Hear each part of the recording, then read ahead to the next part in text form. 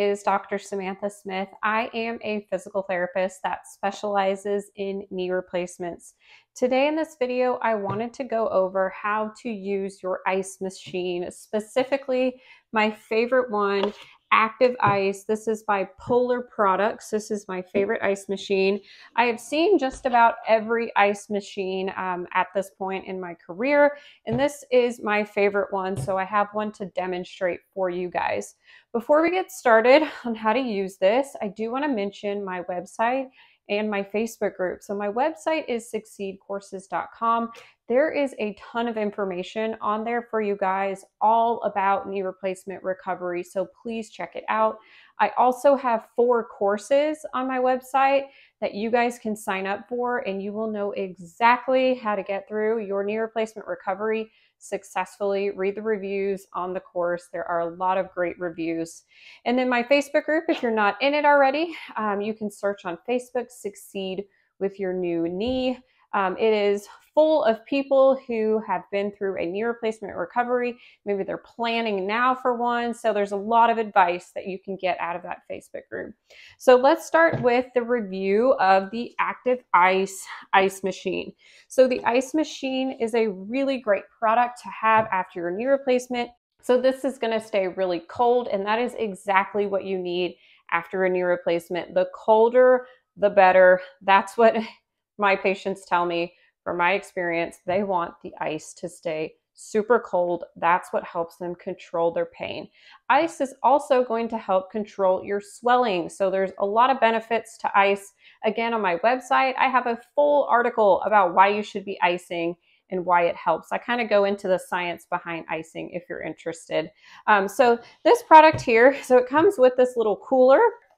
So you want the pad that looks like this. There are several different options on their website and you want the one that looks like a rectangle. So they have one that's specific for knees, but that one doesn't work as well because we want this to go around the whole entire knee. The one on the website that says it's specific for knees, it only covers the front of the knee. You're going to want ice around the whole knee after your knee replacement. That's what's going to feel the best. And that's what's going to give you the best pain relief. So make sure that you have the those full rectangle one and that'll be the best option for you. So the first thing they say in the instructions is you can use ice or you can use frozen water bottles. So I'm going to put water bottles inside and they fit perfectly in size. These, these are full size water bottles, but you can also use the small water bottles too. So whichever ones you have. And then inside the ice machine, there is a line and it tells you exactly where to fill up the water. So you're going to fill up the water to that line. It also says inside, using frozen water bottles, place the bottles inside first and then fill with the water. So you want to place the ice or the water bottles inside first and then you pour the water on top. So I'm going to show you guys here. I brought some water with me and we're going to fill it up to the line. All right, there we go. So easy enough. That is the first step. Second step, so it has this tubing here. You are going to connect the tubing together. It's super easy connect to connect. And you can hear it will snap in place just like that. So super easy connect to connect. So that's all you're to do here. Next, you're to turn it on. Super easy to turn it on. All you do is plug it in. There are two different cords that you can buy. This comes with the ice machine. So all of these products come together. You're just to plug this in and it immediately turns on.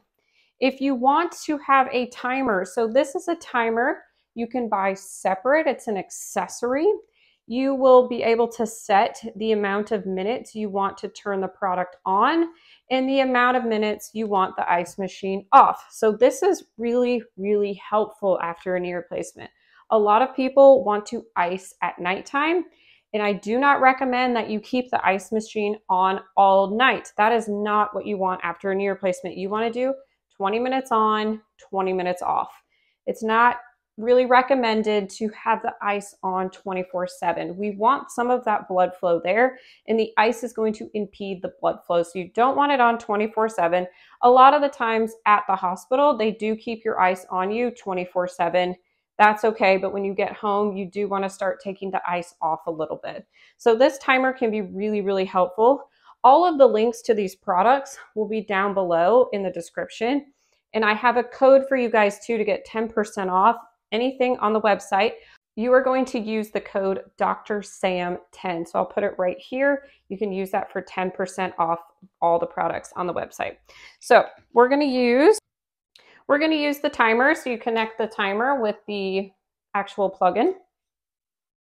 Then this plugin to the timer is going to go into our cooler over here. Side of the cooler, there is a little spot where you can plug in the cord. So all it does is plug in really easily. If you don't have the timer, this is going to be your plug-in. So the cord that goes to the wall, super easy. All you're going to do is plug it in. Just like that. So we're, to demonstrate with the timer. So these ones connect here. And then we're going to plug this in just like that. And then this guy is gonna go into the wall. So my device is plugged in. Now I'm gonna put this around my knee. So putting this around your knee is fairly easy. You're gonna make sure that you put this side down first. Obviously you don't wanna put this over and you know secure it this way. That wouldn't make any sense. So we're gonna put this one over first. And then this one goes on top. They give you the straps right here so you can secure it into place just like that. And then all you're going to do is turn the device on. So if you have the timer, you will use the timer to turn it on and you're just going to push the red button in the middle. And it's immediately going to start filtering water, if you can hear it.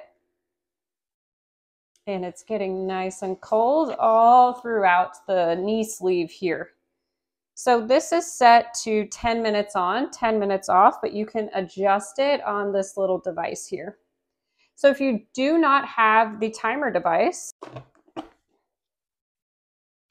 all you're going to do is just plug this into the wall and then into the device and it starts right away. You don't have to press an on and off button. It just starts right away. It's super, super easy to use. So this is my favorite ice machine. Again, as you can see, it's super easy to use. Once you get it filled up with water and ice, put this on your knee, plug it in, you're done.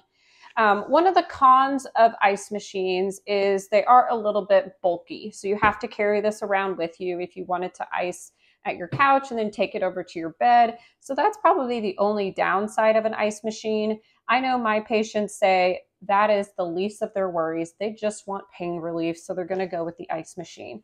Most people have an ice machine and some ice packs. Obviously, you can take the ice packs with you if you were going out to a doctor's appointment or you have to go in the car or you just want to take something easy with you and go sit on the couch for 10 minutes and ice there.